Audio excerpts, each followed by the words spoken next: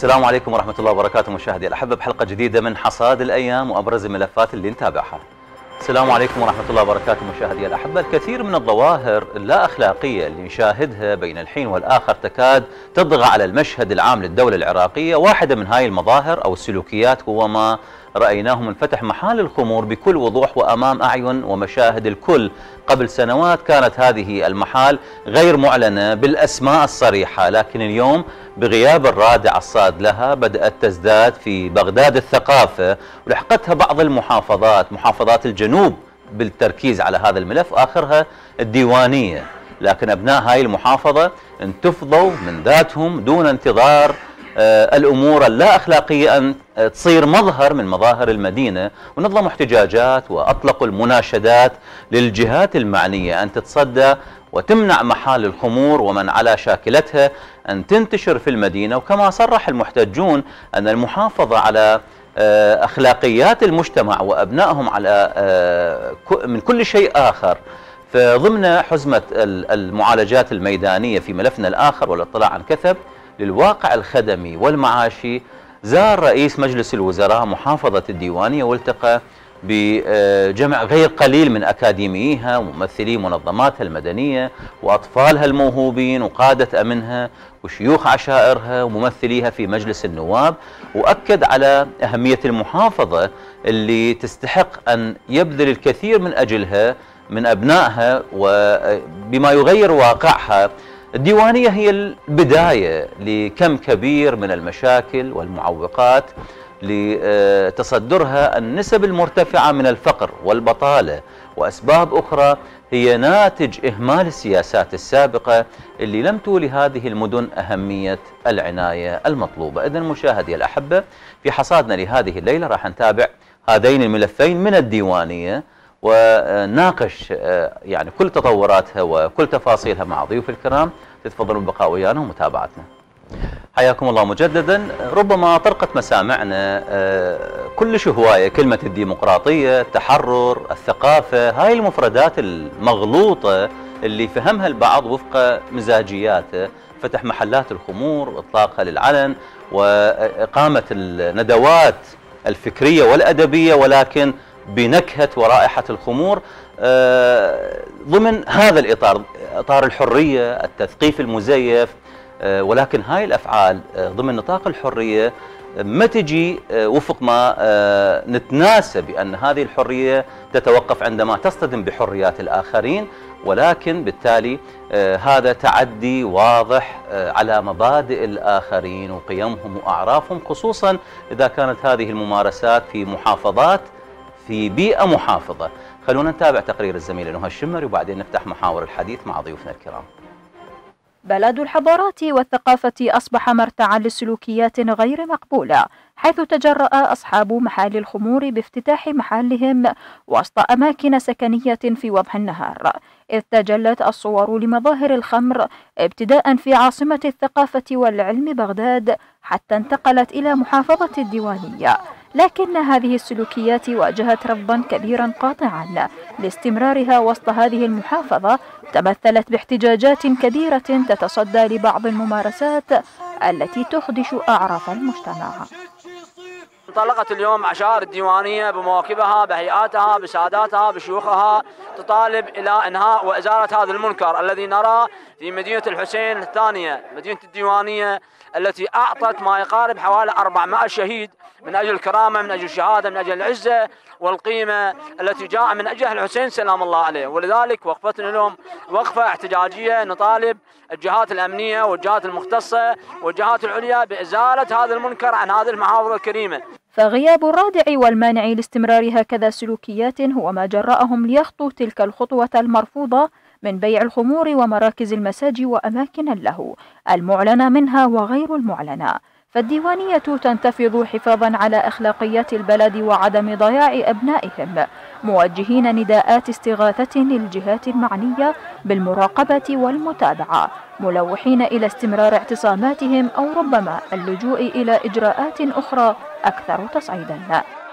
هذه المحلات والبارات حولت المحافظة إلى مجون ولا خمور. ولذا هذه وقفة أولى. والوقفة الثانية سوف تكون هناك اعتصامات ونصب الخيام. ولن نخرج إلا بإزالة هذه الخمور والفواحش التي أمتلت اليوم في المحافظة. ثم بعد ذلك هذا اليوم حوادث جاي قتل وعصابات في هذا المكان. إننا نرفض هذه المظاهر. وإننا نقف اليوم هذه الوقفة التحذيرية وأعطينا مهلة أسبوع. بعدها سيكون لنا موقف آخر أمام مكتب المحافظ وأيضا أمام مديرية الشرطة. لم تكن هذه الخطوات وليدة الصدفة والمزاج لكن أقيمت المهرجانات التمهيدية لجس نبض الشارع ومنها ما حدث في مهرجان الجواهريون الذي أقامه اتحاد الأمنية واليوم أبناء المحافظة يرفعون شعارات الرفض باعتصاماتهم إزاء تهديد السلم المجتمعي على حد قولهم. إذ وصفوا الخمور والأماكن المشبوهة وارتيادها هدم للقيم الأخلاقية وتهديد علني لمبادئ المجتمع مطالبين بإيجاد الحلول الفورية العاجلة. أماكن تعلوها العناوين البراقة بتحايل مع القانون تحت مسميات ثقافية مختلفة لكنها تخفي داخلها الكثير من المحظورات المجتمعية تصل إلى حد البغاء مع الأطفال. نهى الشمري الأيام الفضائية. مجددا حياكم الله مشاهدي الأحبة بهذا الملف أرحب بضيفي الكريمين الدكتور أيسر فخري الباحث والأكاديمي. حياك الله دكتور أيسر ضيفا كريما. وكذلك أرحب بضيفي الكريم الأستاذ مهند جواد المحلل السياسي. حياكم الله ضيوف الكرام. أستاذ مهند يعني نتحدث عن البنية السياسية قبل البنية المجتمعية. لما تتدخل آه، السياسة والتنميط والقولبة بصورة عامة بتغيير آه، بنية مجتمع.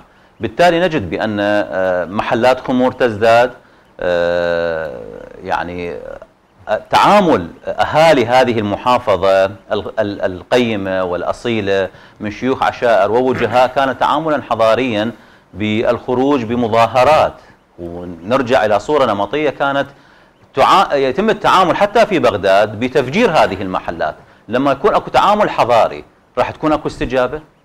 آه، بسم الله الرحمن الرحيم. تحية لك ولضيفك الكريم ولجميع المشاهدين الكرام. الواقع هناك مشاكل كثيرة.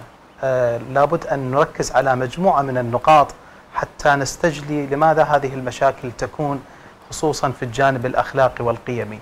الأمر الأول أنه نلاحظ هناك استهداف للمنظومة القيمية للمجتمع العراقي والمجتمع الإسلامي بشكل عام. من خلال استهداف الحجاب مرة استهداف العباءة مرة أخرى واستهداف آه، القيم الأخلاقية من خلال الشذوذ وغيره. والأمر الآخر أنه فتح آه، محلات للخمور تختلف عن قيم وعادات وتقاليد المجتمع لأن هذا مجتمع محافظ ومجتمع مسلم ومجتمع له قيمه وأخلاقه العشائرية والاجتماعية. فأول ملاحظة هو هناك استهداف للمنظومة القيمية في المجتمع العراقي. الملاحظة الثانية آه، هناك حالة تنميط وتطبيع مع المنكر. يعني بعض الأشخاص وبعض الجهات تحاول آه، تمرير هذه الأمور من خلال إعلان بعض المسائل مثل فتح بارات الخمور أو أنه آه، يقف شاعر على منصة الإلقاء ويأخذ معه يعني المشروب المنكر. وهذا هي حالة تطبيع مع المنكر وتنميط للمجتمع العراقي على أساس أنه آه، هذا الشاعر هو الذي يمثل وجه من أوجه الثقافة. الأمر الثالث هناك آه، مخالفة صريحة إن كانت حتى فيها يعني جواز قانوني أو إجازة قانونية ولكن لا ينبغي أن يكون أي حكم موجود أو أي تشريع يخالف أولا دين المجتمع والأمر الثاني يخالف قيم المجتمع. حتى مانتسكو في آه، كتابه روح الشرائع أو روح القانون آه، هذه المسألة يركز عليها يقول ينبغي أن يكون الدستور الذي يحكم كل شعب هو نابع من قيمه وتقاليده وعاداته وأعرافه ورؤاه الكونية وتطلعاته.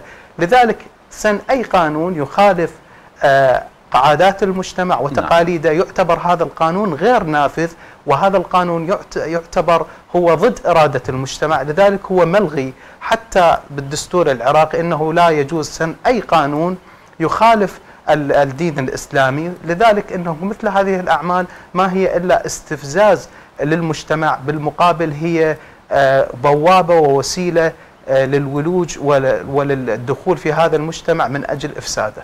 طيب دكتور أيسر جدد ترحابي بحضرتك خليني اليوم أكون محامي الشيطان يعني لما أكو تأطير لمسألة بيع الخمور ويخيرونا بين خيارين خلي آه، الناس تشرب خمر أفضل ما تلتجئ للمخدرات يعني خلصت الخيارات عندنا وظلينا ضمن هذا التأطير فقط لا ثالث لهذه الخيارين؟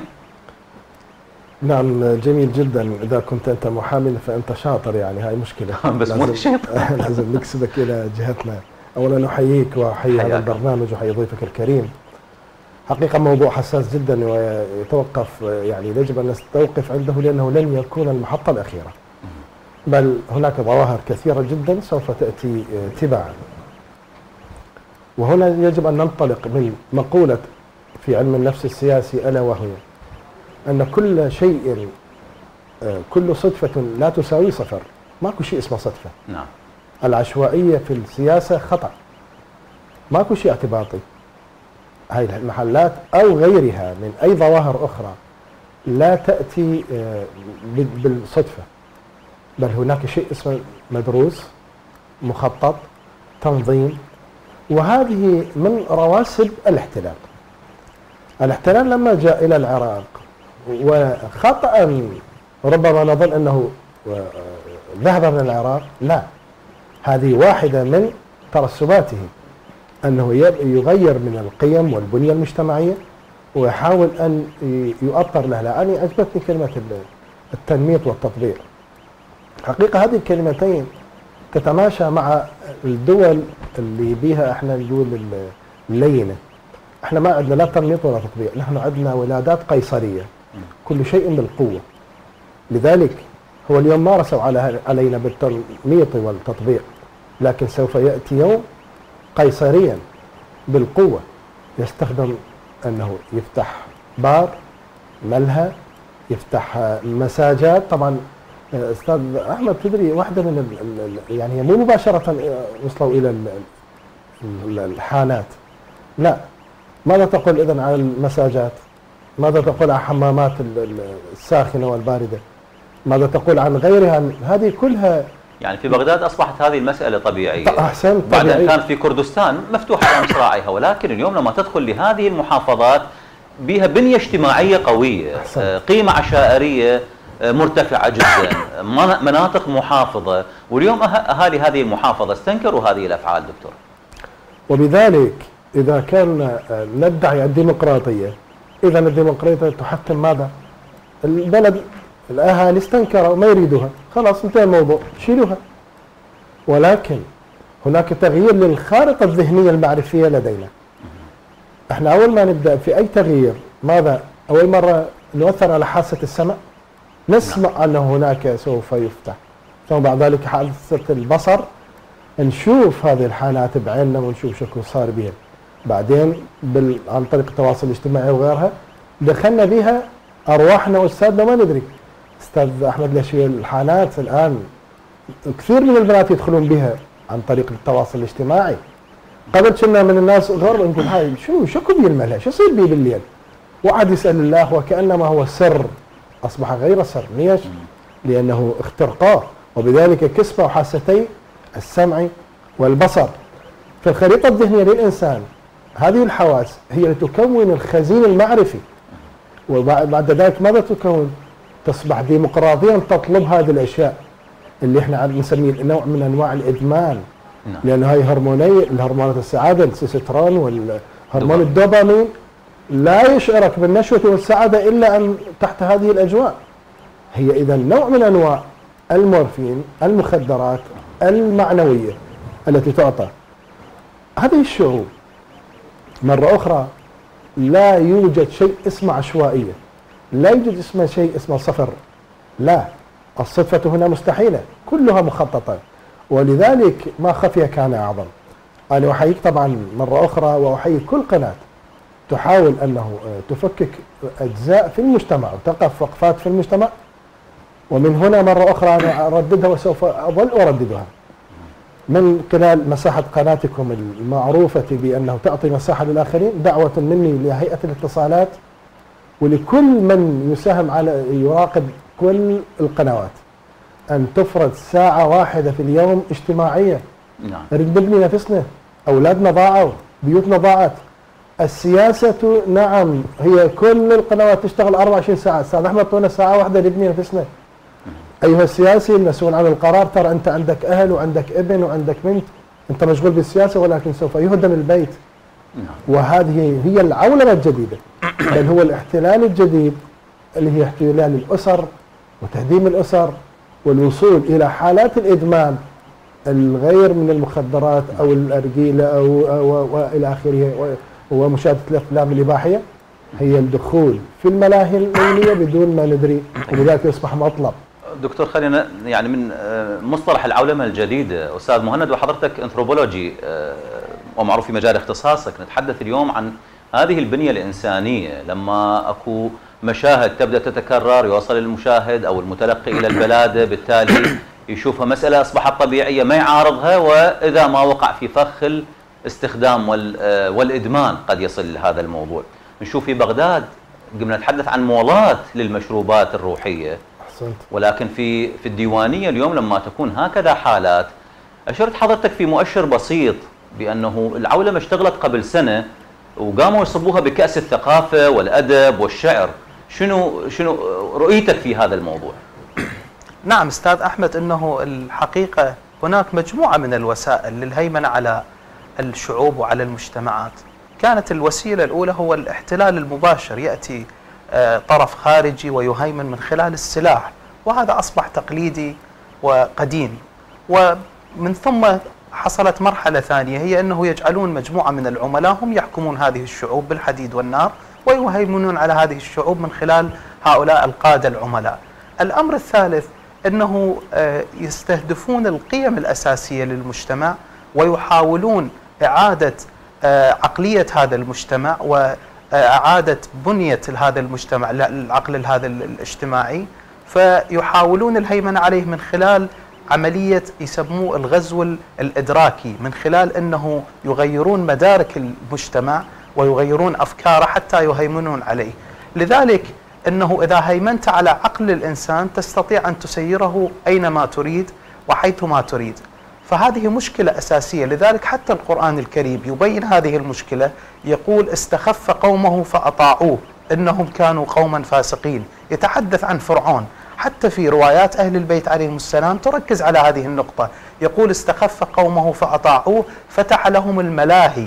كانت هناك ملاهي موجودة فالإنسان يذهب بدون قيم بدون معرفة لأن الإنسان يكون ثقيل إذا كانت له قيم وكانت له معرفة يعني إدراك صحيح وله قيم تضبط سلوكه. لذلك قال استخف قومه جعلهم خفافا لا يمتلكون قيما تثقل من حجمهم ومن وزنهم ولا لهم إدراك يستطيعون يعرفون من خلال السلوك الصحيح. يعني أجي اصب الهياب بكاس الثقافة وكأس الأدب أستاذ مهند نعم لابد أن يقدم السم بشيء من العسل حتى يكون مستساغ. لا يكون أنه تمرير ومواجهة للقيم بشكل مباشر. ماكو صدفة يعني؟ نعم نعم لا يوجد صدفه لا يوجد لا يوجد شيء صدفة كل شيء مخطط كل شيء حتى إن لم يكن مخطط على الورق ولكن هناك خارطة موجودة داخل ذهن الإنسان يعمل من يعني يعمل آه، آه، خلالها. حتى موجود هذا البرنامج إنه آه، قبل فترة نزل كتاب لزوجة زلماي خليل زادة أنه اسمه الإسلام الديمقراطي المدني. تقول أنه مجموعة من الأمور ننشر فيها إسلام جديد. تعتمد هذا الإسلام على نشر العلمانية نشر المدنية بالمقابل هناك جعل تيارات إسلامية متشددة حتى الناس ينفرون من الدين. كل هذه الوسائل موجودة الآن. لأن نعرف إحنا أنه المساوي للعولمة هو الأمركة. هي سياسة القطب الواحد من بعد انهيار القطب الآخر الكبير هو الاتحاد السوفيتي. لذلك أنه ثقافة العولمة اليوم موجود هي ثقافة الأمركة لذلك بعض المفكرين اليوم من بعد كل هذه السنوات يتحدثون عن ما بعد العولمة. هل أنه سوف تبقى السياسة الأمريكية مسيطرة والقيم الأمريكية مسيطرة على العالم؟ هل يبقى أنه فقط قطب واحد هو يقود العالم أن هنا أم هناك أقطاب متعددة؟ حتى أنه روسيا الشيوعية التي كانت آه، تقف ضد الإيمان وضد الدين اليوم يخرج الرئيس الروسي يقول لا يوجد شذوذ في روسيا ما دام أنا موجود اذا هناك تحدي كوني لل- للسياسة الأمريكية وللقيم الأمريكية نعم. فليس فقط المجتمع العراقي مستهدف ولكن اليوم استهدافه أصبح واضحا من خلال إدخال هذه الأفعال الغريبة على المجتمع العراقي وخصوصا على المحافظات المحافظة والتي تمتلك قيم دينية وعشائرية. طيب هذه القيم الدينية دكتور أيسر والقيم العشائرية ألا تجدها بأنها تكون أواصر متينة وعرى وثيقة ما ممكن كسرها حتى من آه، من آه، متبعي العولمة ومريدي هذه العولمة وأشير لحضرتك بأنه في العام الماضي كان هنالك مؤتمر أو مهرجان شعري لاتحاد الأدباء وحق الرد مكفول وجيء بشاعر معين في محافظة الديوانية ويعرف نفسه بأنه آخر الصعاليك ويصف على البطل. نعم للأسف الشديد ال- الحقيقة هذا الموضوع يحتاج إلى أمر مهم جدا. إحنا طلعوا أهل الديوانيه مشكورين وأنا من أحييهم وأدلوا بدولة دلوهم وقالوا إحنا بنريدها انتهى الموضوع ولكن هؤلاء يحتاجون دعم أنا اولا أحييك أستاذ أحمد شخصيا وأحيي قناتكم لأنه هذا واحد من أنواع الدعم المعنوي والإعلامي لهم وهذا ضروري. ولكن أين الدعم الحكومي لهؤلاء؟ هؤلاء يا أستاذ أحمد ويمكن أتمنى هذه الحلقة تنحفظ إلى قادم الأيام وإلى السنين ال- القادمة. أستاذ أحمد أسألك سؤال والأخوات الآن الولادات الطبيعية هسه أكثر من الولادات القيصرية. قيصري بطبيعة الحال أصلا الولادات الطبيعيه صارت من النوادر وهذا ينسحب ليس فقط على الولادة بل حتى على الولادات السياسية. أها. أستاذ أحمد الولادات. أصبحت قيصرية. إن لم تأتي سوف يؤتى بك. وأنا متأكد سوف يطلب هؤلاء الجماهير إذا ما دعموا نفسهم يطلعون شباب يطلبون بفتح البارات. لأنها أفضل من أن يقتلوا نفسهم. يعني شوف أن يخير بين أمرين سيئين يعني يبدأ يستغله يعني استدراج. هذا الاستدراج منهج من مناهج الشيطان. بل هو منهج من مناهج العولمة أنه يخليك تأتي إلى المساحة ثم بعد ذلك يأخذ الأجر عليها. يعني الآن إذا هو يدعم فتح البارات وإذا يدعم الحانات وإذا يدعم الملاهي بأموال سوف يأتي يوم لا هو يأخذ عليها فلوس وهي هاي أصل الح- الخانة. أصل الحانات وأصل يت- يلعب قمار والروليت ما هو. بالبداية هو يعطيك ثم بعد ذلك يأخذ منك. هذه يحتاج إلى تفكيك وإلى ما يعرف في خاصة في الحكومات العراقية للأسف الشديد يجب أن تكون هناك فلسفة. يجب أن يكون هناك من يعي ماذا يفعل. المنطقة كلها بها مشاكل وبها آه، يعني ألغام كثيرة ومنها ألغام المعنوية. الألغام المادية واضحة. طائرات، سلاح، قتال إلى آخره. لكن الألغام المعنوية هي الإشكال. تفكيك البنية الأسرية هي المشكلة. تفكيك المنظومه القيمية مشكلة. تعلم يا أستاذ أحمد واحدة من أعظم ما جاء به على النفس هو هرم ماسلو للحاجات. اتعلم الآن يعملون على الهرم الماسلو المقلوب أنه من خلال هذا يغيرون هذه الحاجات وتصبح الحاجة إلى اللهو وإلى الطرب وإلى الحاجة إلى الإدمان أكثر من حاجات البيولوجية العادية الاعتيادية. نعم وهذا شأن ماذا؟ شأن المخدر شأن المسكر ال- الثمن شأن اللي مغيب عقله. كل ذلك لها أساليبها وإلها طرقها. الطرق القديمة أصبحت طرق بالية. الآن كل المؤتمرات في العالم بل البحوث في العالم كيف نستطيع أن نسحب مساحة الإنسان من مساحة الراحة والأمان إلى مساحة أخرى نحن نوطئها لهم؟ نعم. وهذه مشكلة. لكن مرة أخرى من دعم هؤلاء اللي طلعوا ونحييهم مرة أخرى؟ من دعمهم؟ يعني أنا أول مرة أسمع قناة مثل قناتكم تدعمهم وتعطيهم السا- مساحة واللي دعمهم على الأقل معنويا. الطالب يا أستاذ أحمد من يحل مسألة المدرس يقول له صفقوا له تعزيز. أحسنت. مبدأ من مبادئ التثبيت للمعلومة. نعم. إذا أنا كيف من دعم هؤلاء؟ طلعوا هوسوا خطيه بالشمس مرد ومرد. إيه شكرا. بارك الله. ها هي هذا الموضوع. يحتاج إلى دعم. دعم معنوي ودعم مادي. ويحتاج إلى ماذا؟ إلى الشباب مشكلة الشباب ما يستلم من عند أستاذ أحمد. يستلم من الإنترنت. نعم. يستلم من مواقع التواصل. يقول إيه يريد يخلوكم أنتم دائما بالظلام يخلوكم في القرون الوسطى. شوف بغداد إحنا وين الحضارة؟ شوف أمريكا يعني الحضارة وبدأ توقيت هذه التظاهره لو صاير ويا آه، بالضبط نفس توقيت زيارة آه، سيد رئيس الوزراء السيد السوداني إلى محافظة الديوانية. لربما كان بها أحسنت. آه، إجراء آه، آني ووقت آه، أحسنت. يعني هو أن في- هذا في نفس اللحظة يعني أحسنت. ولكن يبدو أن تفاوتا هناك قد حصل أنا أشكرك شكرا جزيلا دكتور ايسر فخري الباحث والاكاديمي في مجال علم النفس أثريت الحوار في هذا الملف وتتفضل بالبقاء معي الأستاذ مهند جواد كي نتابع في الملف الآخر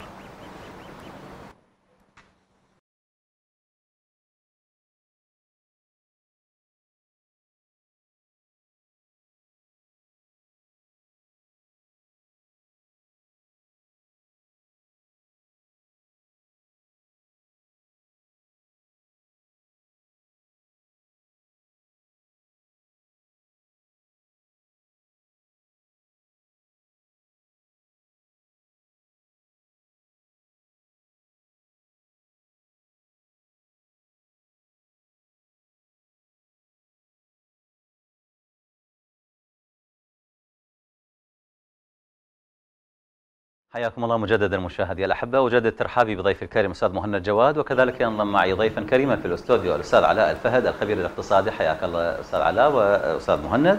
أستاذ مهند يعني لما نتحدث عن بنية سياسية ونظام سياسي جديد أقصد به الحكومة الجديدة في هذه المرحلة آه، هناك بعض الفضائيات تتحدث عن آه، الانتشار الإعلامي، اللقطة، الشو، ولكن بواقعية لو تحدثنا اكو آه، استثمار للوقت، اكو استثمار للجهد واكو حركة دؤوبه، هاي الحركة عندما أعلنت آه، يعني آه، ال- القوى التي شكلت آه، تحالف الدولة، الإطار التنسيقي هو النواة، وقالت إنه آه، راح ننتج حكومة خدمات، بالتالي الخدمات اللي نشوفها اليوم في مصفى الديوانية، استثمار في 125 مليون دولار، آه، تأمين مشتقات نفطية للمحافظة، آه، تقليل استيراد المشتقات النفطية من جهة أخرى، إيجاد فرص عمل، كل هذه المنجزات في آه، افتتاح مشروع واحد، هل نعتبر بأننا قد وضعنا قدما في الاتجاه الصحيح؟ تحية لك مجددا ولضيفك الكريم الواقع أستاذ أحمد أنه كانت خطوات السيد السوداني من البداية واضحة ومرسومة جدا يعني كانت خريطة واضحة جدا عنده للتحرك السياسي. من أول يوم استلم آه، رئاسة الوزراء وشكل الكابينة الوزارية آه، عمل على خطوات جدية. وكان هو الرسالة التي نوه إليها أنه نحن اجتمعنا في يوم الجمعة وهو يوم عطلة لأن هذه الحكومة تعمل ليل ونهار وبشكل دؤوب. هذه أول إيجابية وهي رسالة مطمنة للمجتمع العراقي وتفاعل المجتمع العراقي بهذه الخطوة بشكل كبير. الأمر الثاني هناك له ملفات آه، يعني مهمة ركز عليها استراتيجية تهم المواطن بشكل كبير. مثلا ملف الصحة كان أنه قال في برنامج ال- ال- الوزاري أنه آه، قضية الصحة ووزارة الصحة هي من أولوياته وهو طالب أن يكون وزير الصحة من ترشيحه. وفعلوا أيضا الكتل السياسية وقدموا وزيرا للصحة على أساس اختيار السوداني السيد السوداني. لذلك هو كان له آه، اهتمام خاص بوزارة الصحة. الأمر الآخر أنه ركز على المشاريع الاستراتيجية التي تصب في ثلاث قنوات. القناة الأولى أنه هذه المشاريع ترفض الميزانية العراقية مثل مشروع ال- ال- المصفى الديوانية. الأمر الثاني تشغل الأيدي العاملة. الأمر الثالث أنها تقدم إنجاز استراتيجي ينفع المجتمع العراقي بشكل عام إذا هو له برنامج واضح وله خطوات ميدانية والمجتمع العراقي يستبشر خير ولكن أيضا هناك قلق من وجود بعض المعرقلات أو بعض التيارات السياسية الداخلية أو الخارجية تعرقل حركة نعم. هذه الحكومة ولكن هو السوداني السيد السوداني بدأ بشكل مبكر وبخطوات جدية ولا بد أن يكون هناك مساحة ووقت أقل شيء ستة أشهر حتى يستطيع أن يقدم إنجاز ملموس على أرض الواقع. هنالك أستاذ أجل ترحاب بحضرتك من وصف رئيس الوزراء بأن لديه الخبرة في مجالس المحافظات والعمل البرلماني والعمل التنفيذي وبالإضافة إلى آه، إسناد الكتل السياسية داخل مجلس النواب ابتداء من الإطار التنسيقي وانتهاء بائتلاف إدارة الدولة آه، لكل هذه التحركات وحكومة الخدمات. نشوف كل هذه المميزات هي التي جعلت السيد السوداني اليوم لما يذهب يشير إلى آه، أثناء لقائه مع نواب محافظة الديوانية وعدد من الوجهاء بأنه الواقع الاقتصادي للديوانية المتردي يريد يرفع من منسوب الرفاهية أو تحقيق بعض المنجزات لهذه المحافظة على المستوى الاقتصادي، كيف تنظر إلى هذه الجزئية؟ أستاذ أحمد أرحب بحضرتك وبضيفك الكريم وبكل مشاهدي قناتكم. الكرام أيضا. آه، حقيقة خطوات السيد السوداني خطوات محسوبة بدقة عالية كونه رجل صاحب خبرة خبرة تشريعية وخبرة تنفيذية وأيضا في مجالس المحافظات ولديه تشخيص كامل عن مكامن الخلل والتحديات التي يعاني منها الاقتصاد العراقي ومنها نقص الخدمات وأيضا هناك صناعة معطلة يمكن النهوض بها ألا وهي الصناعة التحويلية نعم. وبالتركيز بالبرنامج الحكومي على مسألة الفقر والبطالة وتنشيط القطاع الخاص والصناعة هذا كله آه، تضع التشخيص الصحيح لما لما يعانيه الاقتصاد العراقي. ذكرنا من خلال منبر قناتكم وبخلال لقاءات سابقة أنه مشكلتنا في العراق مشكلة الإرادة. الإرادة السياسية الحقيقية القادرة على أن تحقق تنمية ونمو اقتصادي يمكن أن ينهض، اليوم محافظة الديوانية آه، سيد رئيس الوزراء بعث رسالة واضحة للمحافظات الجنوبية التي تعاني من نسب فقر عالية وتمتلك مقومات النهوض والتنمية ومنها الصناعة التحويلية، التركيز اليوم على الصناعة التكريرية مهم جدا كون العراق مستورد كبير للمشتقات النفطية وبنفس الوقت هو مصدر للنفط الخام. اذا هناك مقومات لقيام هذه الصناعة، أضف إلى ذلك مسألة التشغيل، تشغيل ب- ب- ب- بحجم كبير جدا، هذا المشروع نعتبره الخطوة الأولى بالاتجاه الصحيح. وإذا كانت هناك جدية وإرادة سياسية لدعم السيد السوداني للمضي قدما بهذه المشاريع البعيدة عن تشخيصات الفساد وأيضا البعيده عن المشاريع الوهمية والمتلكئة سيكون هذه الخطوات مهمة جدا وهي تمثل الاتجاه الصحيح نحو يعني اليوم بالتزامن زيارة السيد السوداني إلى محافظة الديوانية نعم. بل وأيضا آه، قراءة مجلس النواب لقانون الشراكة بين القطاعين العام والخاص هذا المزيج والتوليف اللي لاحظ هناك تفاهم بين مجلس النواب وما يقره من قوانين وبين العمل الحكومي وبالتالي ربما الاثنان يصب بنفس الاتجاه مع تأكيد السيد السوداني على الاسراع بإقرار قانون الموازنة وأيضا التخصيصات والمشاريع. كل هذا سيسهم ببوادر نشوء عمل حكومي يمكن أن يلمس المواطن نتائج مرجوة منه في الأجل القريب إن شاء الله. طيب أستاذ مهند لما يكون هناك تشخيص من رئيس الوزراء لواقع الديوانية الخدمي وبالتالي إنفاذ هكذا مشاريع تسد حاجة ال- المواطن والبنى التحتية أيضا آه، أمر بتشكيل لجنة وزارية تتابع آه، هذه المشاريع المتلكئة وما غفل آه، الدور الأمني وضرورة الحفاظ على الأمن وأمن هذه المشاريع وعدم تدخل بعض الجهات النافذة في هكذا مشاريع. هذا الموضوع جرى عند لقاء بالقوات الأمنية من جهة ووجهاء وشيوخ العشائر من جهة أخرى. هذه التكاملية في العمل راح تؤدي لنا إلى نتائج مثمرة؟ نعم هناك مشكلتين كانت في جميع المشاريع. المشكلة الأولى كان هو الفساد والعقود الوهمية والمشاريع الغير منجزة لأن هناك أموال تسرق وتذهب إلى خارج العراق وتعطل هذه المشاريع. الم- المشكلة الثانية هي التي تعطل المشاريع كانت بعض الجهات السياسية وبعض الجهات ال- الموجودة التي لها قوة في الشارع ولها سلاح هي آه، تتفاوض وتقايض ال- المقاولين أو المسؤولين الحكوميين من أجل إعطاء حصة لهم وإلا يتوقف هذا المشروع، وحينما تؤخذ حصة من أي مشروع يكون هذا على حساب المشروع، يكون بكفاءة قليلة ولا تسد الأموال حاجة هذا المشروع، لذلك هو التركيز على الجانب الأمني من جانب إنه حماية هذه المشاريع من أي عمل إرهابي وحماية هذه المشاريع من أي آه، قوة خارجة عن القانون تحاول استغلال وابتزاز هذه المشاريع. لذلك كان إنه لابد أن يكون هذا العمل متساوق بال- بالمقابل مع آه، إطلاق هذه المشاريع والاهتمام بهذه المشاريع. طيب هنا أستاذ مهند آه، عفوا أستاذ علاء نتحدث أيضا عن آه، لقاء رئيس الوزراء بمجموعة من منظمات المجتمع المدني والشباب بل وحتى الأطفال في محافظة الديوانيه على هامش زيارته وأشار إلى توظيف الأيدي العاملة بنبدا المحافظة، التركيز على ملف آه، البطالة وتشغيل الشباب، احتضان مبادرات الشباب، الكثير من هذه هذه المسارات. هل من الممكن تحقيقها في محافظة الديوانية وبالتالي إعمام هذه آه، الإجراءات إلى باقي المحافظات؟ يمكن التركيز على إحدى المحافظات تكون تجربة رائدة آه، تستفيد منها بقية المحافظات خصوصا أن هناك قانون يتيح للمحافظات أنه اختيار المشاريع المهمة والتي تكون ذات جدوى اقتصادية لأن اليوم آه، أهل مكة أدرى بشعابها أهل الديوانية اليوم هم أعلم بالمشاريع المفيدة والمهمة لهم وأيضا منظمات المجتمع المدني والقطاع الخاص والشباب كلهم اليوم شركاء في حالة إذا كانت هناك مشاريع تنموية.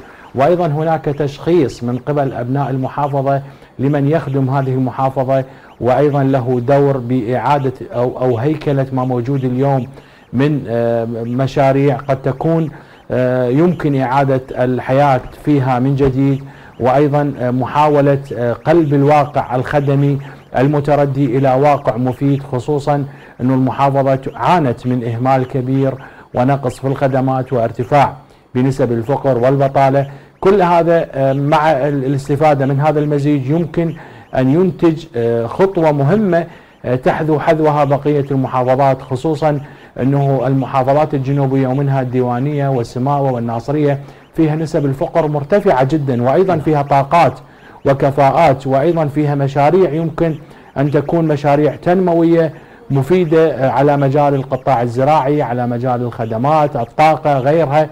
القطاع الصناعي يمكن أن تكون هذه المشاريع مشاريع مشغلة للأيدي العاملة وأيضا مساهمة بعملية النمو والتنمية. هذه التجربة السيد السوداني اليوم أعطى رسالة أنه آه يد الحكومة تصل إلى كل المحافظات آه سواسية وسيكون مسألة المحرومية آه، حاضرة في مشاريعها وفي جدولها الزمني بحيث آه، اليوم يكون الاتجاه للمحافظات الأكثر محرومية فالأقل منها محرومية من أجل أن تنعم جميع المحافظات خصوصا آه، بالخدمات والمشاريع التي يمكن أن تشغل الأيدي العاملة. أستاذ علاء صحيح المشاريع صناعية زراعية ضمن أولويات الحكومة من الممكن تشغيل الأيدي العاملة والقضاء على البطالة ولكن أكو صورة نمطية عند المواطن العراقي. الوظيفة الحكومية والتعيين أصبح هاجس ووسواس قسري عند عند المواطن يجب أن يتعين. أتفق مسارات الحكومة عندها نعم. هالشكل يعني هيك اتجاهات. أتفق معك أستاذ أحمد اتفاق كبير جدا. خصوصا إنه هناك إصلاحات على مدى واسع ومتزامن ومتوازي ومنها إقرار قانون الضمان الاجتماعي الذي يتيح للعاملين في القطاع الخاص حتى بالمشاريع المفردة أن يكون لهم ضمان اجتماعي وتقاعد مشابه لتقاعد الموظفين. المواطن يبحث عن الضمان وهذا بالدرجة الأساس والتقاعد هو الهاجس الذي يحرك جميع المواطنين للبحث عن الوظائف الحكومية. في حالة إقرار هذا القانون وإكماله بشكل نهائي سيسهم أنه يكون هناك إقبال على المشاريع القطاع الخاص وأيضا على المشاريع الصغيرة والمتوسطة اللي كانت هي نعم. سبب نمو وتنمية في الكثير من دول العالم خصوصا في كوريا الجنوبية وفي ماليزيا وفي سنغافورة يمكن أن يسهم القطاع الخاص إذا أنا ذكرت بداية حديثي إقرار قانون الشراكة سيتيح للقطاع الخاص أن يدخل نعم. للعملية الإنتاجية لأن اليوم دور الحكومة في كل الحكومات هو خلق فرص العمل وليس توفير فرص العمل خلق فرص العمل تهيئة البيئة المناسبة لعمل القطاع الخاص اللي سيمتص جزء كبير من البطالة وسيسهم بتحقيق تنمية نعم. طبعا يجب أن تتغير الفلسفة فلسفة المواطن وفلسفة الحكومة أن القطاع الخاص هو شريك مع الحكومة وإذا أردنا أن نعم. تكون هناك تنمية حقيقية وتشغيل للأيدي العاملة ليس من المعقول أن نعتمد على الدولة بالدرجة الأساس بل يكون القطاع الخاص سواء كان محلي وأجنبي شريك بامتصاص البطالة ومكافحة الفقر. نعم. فيكون مسألة الضمان هي مهمة جدا. المواطن يبحث عن ضمان إذا كان هناك تقاعد مساوي بين الموظف الحكومي والموظف في القطاع الخاص والعامل في القطاع الخاص. سيكون هناك إقبال على القطاع الخاص خصوصا أنه القطاع الخاص يختار العمالة الماهرة والمدربة. هذا سيبعث حالة أنه يكون هناك خريجين يدخلون بدورات تدريبية وتأهيلية نعم. تأهلهم إلى سوق العمل. هذا هناك هنا ستدخل وزارة العمل شريك بهذا المجال مع وزارة التخطيط ومنظمات المجتمع المدني. سيكون لها دور في مراحل التدريب والتأهيل من أجل آه، إقامة مشاريع صغيرة ومتوسطة. أيضا نتحدث عن الماكنة التي آه، تكون مسؤولة عن هذه المخرجات. يعني أستاذ مهند تتحدث عن في ذات الزيارة ولقاء رئيس الوزراء مع مجموعة من الأكاديميين وأساتذة الجامعات وحديثه حول أهمية دورهم كقادة رأي وقادة مجتمعيين بالتالي مخرجات الجامعات العراقية تتماشى مع سوق العمل اللي تفضل به أستاذ علاء. نعم أستاذ أحمد لابد أن يكون هناك عمل شامل لكل الشرائح ولكل المجالات ومن هذه المجالات هو رفع آه، قدرة الشباب ورفع قدرة الخريجين من أجل آه، إعادة إعمار وإعادة بناء الدولة العراقية من جديد لأن هناك تلكؤات كبيرة ولكن هناك ملفات أساسية ثلاثة، الملف الأول هو ملف الصناعة وملف الثاني هو ملف التجارة والملف الثالث هو ملف الزراعة، لابد أن يكون هناك اهتمام للحكومة بهذه الملفات لأنها تعتبر هي الروافد الأساسية للاقتصاد العراقي من آه، حيث أنها تدخل عملة للعراق أو تنمي اقتصاد العراق ومن جانب آخر هي تدخل العراق في آه، ساحة الرفاهية الاقتصادية. لذلك أنه الاهتمام بالشباب والاهتمام بهذه الشرائح والاهتمام بالخريجين هو واحد من العمل الأساسي الذي لابد أن تعمل عليه الحكومة بشكل جاد لأن هناك لابد أن تكون تنمية ثقافية وتنمية معرفية نعم. وتنمية تخدم جميع القطاعات الموجودة. وأنا ألاحظ أنه كثير من الحكومات السابقة كانت تهتم فقط في إنجاز المشاريع وهي بعيدة عن المجتمع. ولكن اليوم الخطوة السيد السوداني أنه التقى آه، بالجماهير والتقى بالناس وكان هناك حوار مباشر مع الكفاءات الموجودين في هذه المحافظات. هو تحفيز وهو اعطائهم الأولوية لأن أو يعني هو الشيء المستهدف من الحكومة هو المواطن وإذا إحنا أهملنا المواطن ولم نتعامل معه ولم نعطيه قيمته ولم نشعره بالأهمية هذا لا ينعكس عليه حتى وإن كان هناك تحسن في الوضع الاقتصادي نعم. لابد أن يكون تقارب بين الجانب السياسي وبين الجانب الحكومي وبين المجتمع حتى لا تكون هناك فجوة وهذه الفجوة تستغل من خلال تيارات سياسية داخلية أو خارجية ومن ثم تذهب بالعملية السياسية والعراق آه، إلى منزلق خطير. نعم أشكرك شكرا جزيلا أستاذ مهند جواد الباحث السياسي والمحلل السياسي أثريت الحوار في الملفين. وشكر كثير لحضرتك أستاذ علاء الفهد الخبير الاقتصادي آه، رافقتنا في هذا الملف المهم. شكرا جزيلا لكم ضيوف الكرام والشكر موصول لحضراتكم مشاهدي الأحبة على حسن المتابعة. في أمان الله.